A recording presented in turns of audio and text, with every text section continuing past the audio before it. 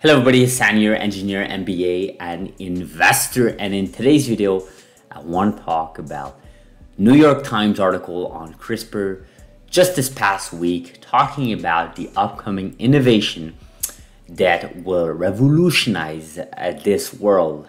And of course, this is my first video in over two weeks actually. I think it's like 16 days since I made my last video. It's been a minute, guys. It's been a minute. Um, First of all, I have a week off at my day job here, so I thought, you know what, uh, I'll be spending a little bit more time, uh, maybe researching and looking at different things, things that you know not related to my day job, and just you know obviously related to other things in my life, such as genomics, CRISPR.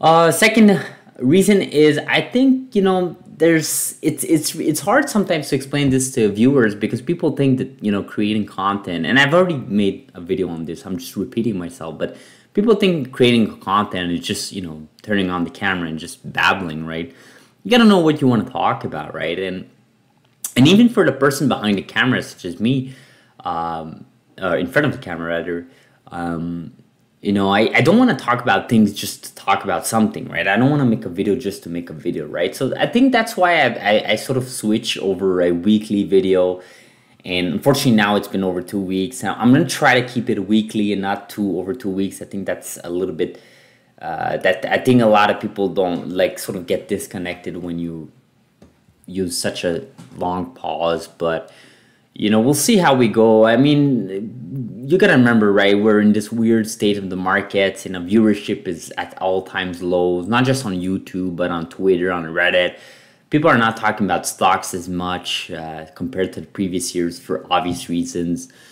And, and, obviously, we're in this space where we're all waiting for CRISPR Therapeutics to have the FDA approved uh, potentially by the end of this year, right? So things are sort of on a halt, but here and then you get these articles. And I said, you know what? Let's take a look at this article in this video. And again, I would love to turn this channel into more like specifically science, but I'll be honest with you guys, like that requires a lot of time on my end, right? So, um, you know, enough with the complaining, right? I, I guess I just gotta make it happen, but you know, for today, let's take a look at this article here. So suddenly it looks like we're in a golden age of medicine.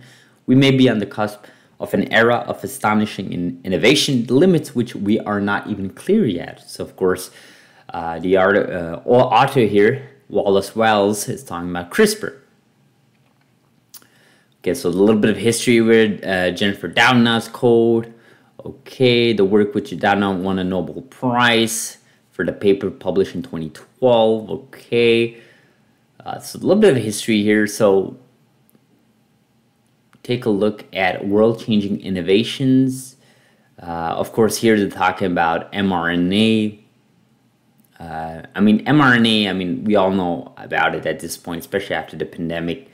Um, are we done with the pandemic? I think we are, right? uh, yeah, I think we are. I think the WHO ended the pandemic uh, emergency, I think like a month ago or something. So, okay, so obviously here in this article, they're not just talking about CRISPR, they're talking about other things as well. But uh, most importantly here is this paragraph here. So, Although the first very person to receive CRISPR gene uh, editing in the US received it just four years ago for sickle cell disease, it's been rolled out for testing for blindness, heart disease, diabetes, cancer, HIV, and only two applications for such treatments have been submitted to the FDA.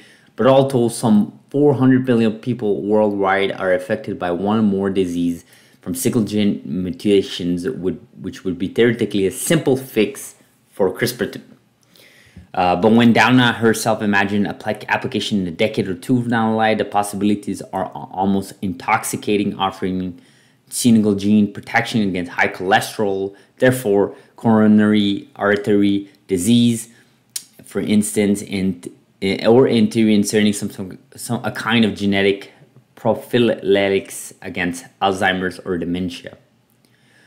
Can we actually do it? Can we actually do it?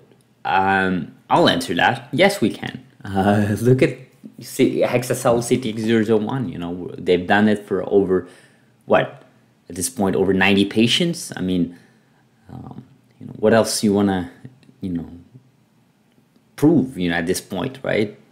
to actually answer the question: Can we actually do it and get this F, FDA product, uh, get the FDA to approve this product right in the U.S. and then have a down domino effect across all regions around the world, right? So.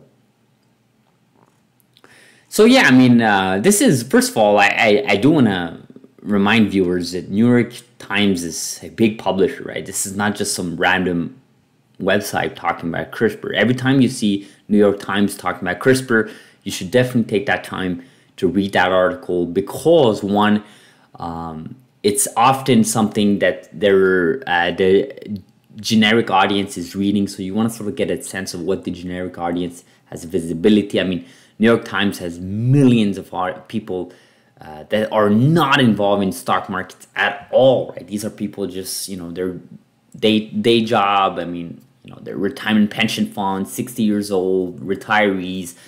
There's no way these guys are involved with anything to do with genomics or CRISPR.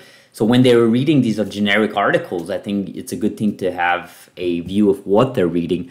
Uh, so you understand where mainstream media is pushing this CRISPR narrative, right? Notice that here they're talking about worldwide innovation into specifically trying to prove that it may potentially cure many, many diseases. Like the article said, over 400 million people that could be literally potentially cured from just a single gene fix from CRISPR, right?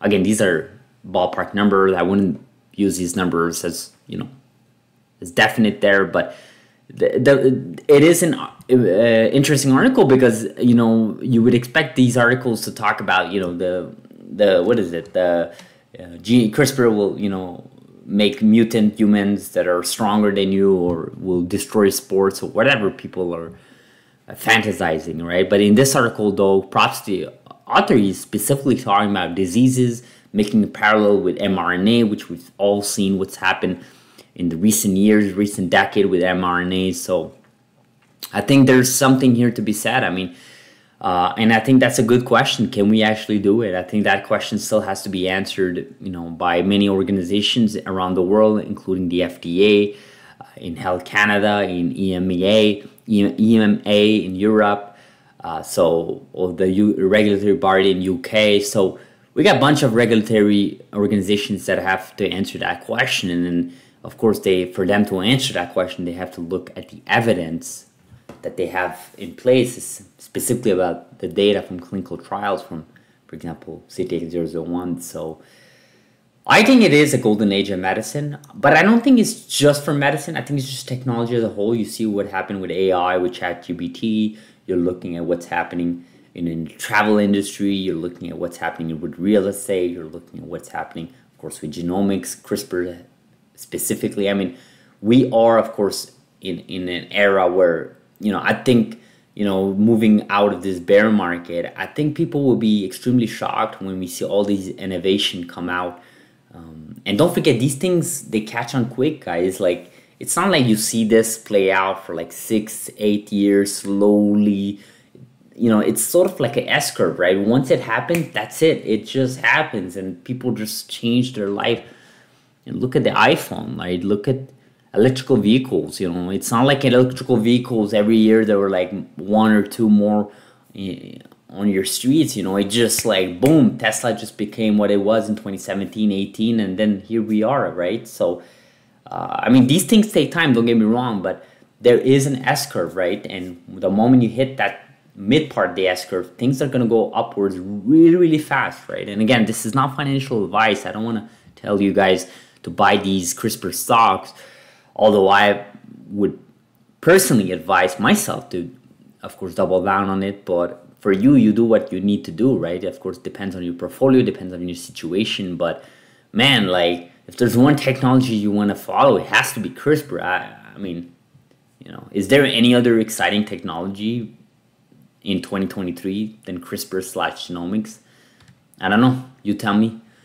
I'll end this video like this, guys. As always, subscribe if you haven't. Like this video if you found value. Do like it. Of course, it does help this channel. Again, thank you so much, guys, for sticking around. I'll see you guys in the next video. Have a beautiful, beautiful Tuesday. Um, hopefully not raining wherever you are. So I'll see you guys in the next video.